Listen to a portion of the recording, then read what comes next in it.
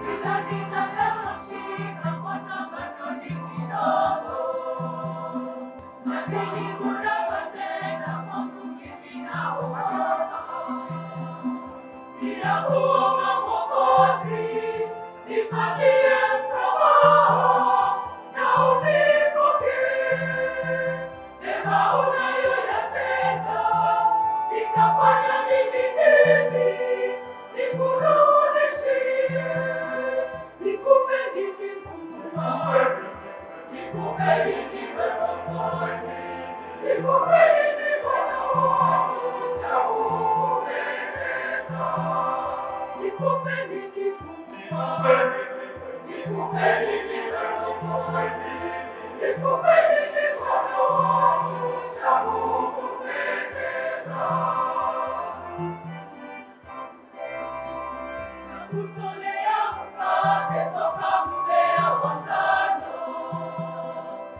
nakutolea mimao hili tunda la mzabibu.